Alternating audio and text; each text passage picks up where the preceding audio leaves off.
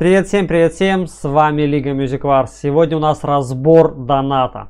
Что такое донат в играх, к чему он приводит, с чем его едят, что грозит игровому процессу, если не организовать правильный уровень доната. Как раз в этом видео мы и посмотрим.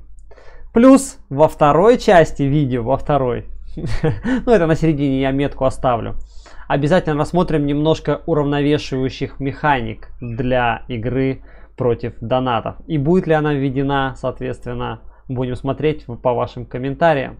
Давайте, поехали!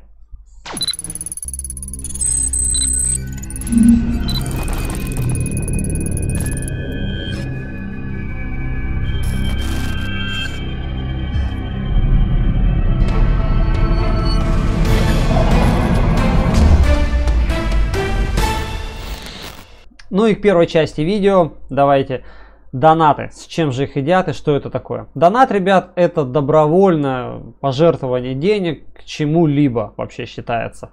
То есть это официанту на чай, вот как у нас, а где-то вы оставляете. Добровольное пожертвование стримерам, то есть вы просто так кидаете деньги. И здесь та же самая система. Потому что игры делятся на два вида, ребят. Это free-to-play, Соответственно, это игры для бесплатной игры. И pay to play. Это игры, которые ты платишь и играешь. Хоть, ну, хотя в одной и второй есть и там, и там есть механики.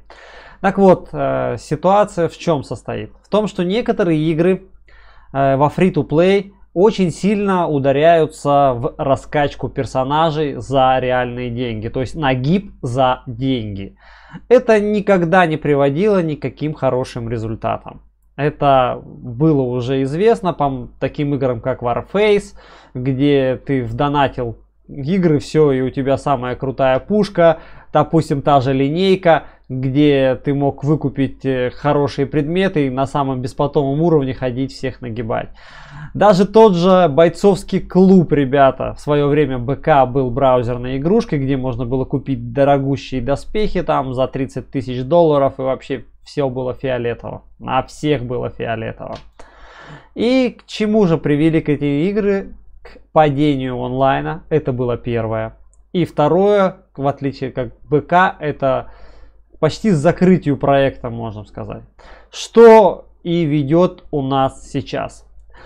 Большая, скажем так, пропасть между донатными игроками и простыми игроками. То есть приводит к тому, что простые игроки перестают качаться или перестают получать удовольствие от игры. Слава богу, ввели башню смерти. Но некоторым она, к сожалению, не зашла. Потому что игрушка своеобразная, конечно. Это игра в игре все-таки, какая бы ни была. Ее надо разнообразить. Ребят, молодцы разработчики. Старайтесь дальше разрабатывайте. Хотя бы какая-то часть игроков, может быть, и останется благодаря этому. Но у нас же чистые ребята нагиб за деньги в игре. Как вы понимаете, что он приведет к одному, что в игре, в игре не останется игроков. То есть, а мне нравятся, кстати, игроки, которые пишут э, прям, ну надо, м-м, надо, надо, наверное, иногда хотя бы донатить. Или нет, будем, знаете, free, дан, free to play, полный free to play, нет донату. Я это тоже над этим очень сильно смеюсь всегда в игра, которая реально требует влаживания денег, никогда не будет фри. Допустим, у нас ситуация простейшая. Ребят, вы вот, э, не покупаете сами призы. Допустим, представьте, что чтобы получить первую клетку, вот просто, да, первую клетку, вам надо купить ее за 350 звезд. 350 звезд.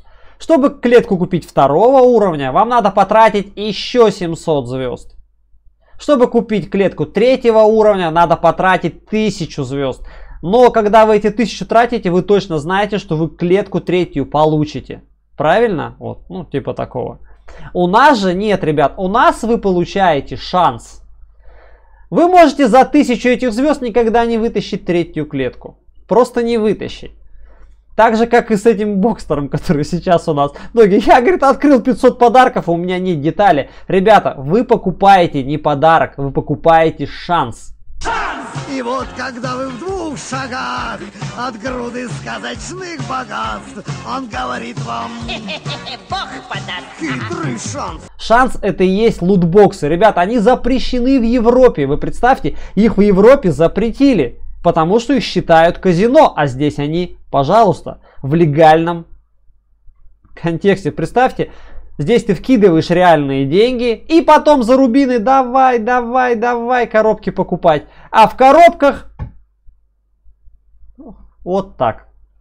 Это как раз из разряда того, что почему сейчас донаты сильно очень жалуются. Ребят, им шанс выкрутили вообще. Вот такой стал шанс выпадения предметов. Потому что игроков нету, а содержать эту всю прорву надо.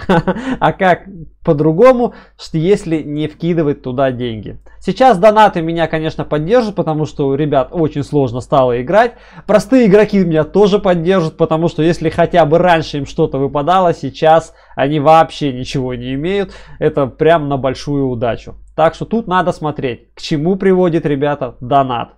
То есть, хотел бы услышать как раз и в ваших комментариях.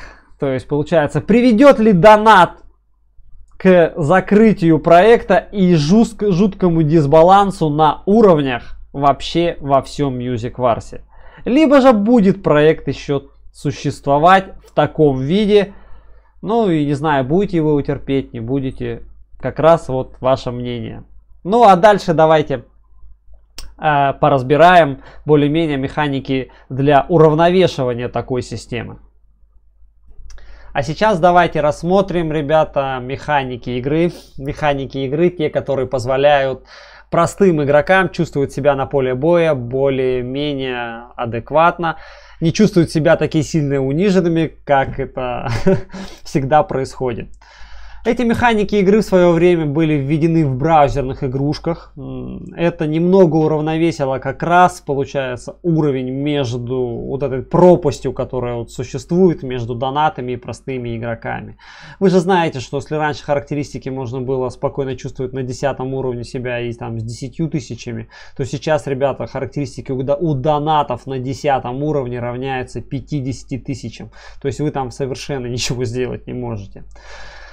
Так вот, давайте не будем долгий ящик откладывать и давайте порассматриваем новые навыки от мастеров для простых игроков.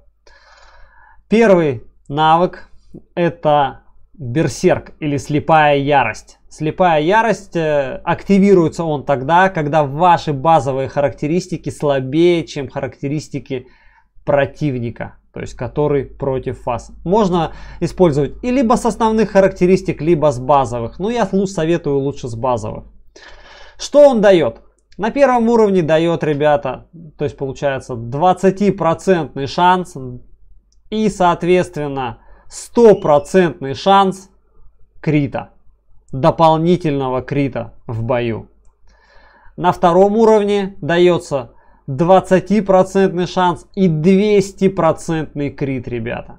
На третьем уровне 30% шанс и 200% крит. Это даст возможность простым игрокам бить не только с простым, ребята, критом, но и бить э, с дополнительным. То есть у них два навыка крита получается. Один как бы основной, и дополнительный за счет того, что ты слабее противника. Как бы тебе страшно, и ты начинаешь драться, потому что ты боишься умереть. Второй навык, ребята. Второй навык называется глухая оборона. Глухая оборона или получается обратный урон. Это навык активного щита, он срабатывает рандомно. Активируется он также, если противник сильнее вас по базовым характеристикам, то получается он начинает активироваться и активируется рандомно вместо атаки. То есть вместо того, чтобы атаковать противника, ваш персонаж уходит в глухую оборону и ждет, то есть соответственно, когда его начнет атаковать противник. В то время, пока он находится в глухой обороне, весь урон, поступающий к нему, возвращается обратно тому человеку, который ударил. То есть, соответственно, если будет бить 5 питомцев этого человека, то, соответственно, все 5 питомцев себя ударят. И также персонаж То есть главное, если тебя ударит, он также тоже ударит себя. Причем этот навык будет срабатывать также рандомно, ребята.